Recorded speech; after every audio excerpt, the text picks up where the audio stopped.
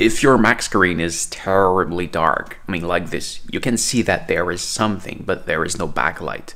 This is not a problem. This is just the brightness settings. You can look on your keyboard. Just right here, you can see F1 lower the brightness and F2 uh, make, make the brightness brighter. So you press on F2 and you got it.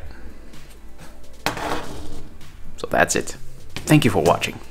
So this is it. Thank you for watching. I hope it helps. If yes, please make a thumbs up. If you have any question, please ask in the comment below. I may simply answer you or even maybe make a video just for you. So don't forget to subscribe. And what you do see back there, it's from my main channel. So please come take a look at this right there.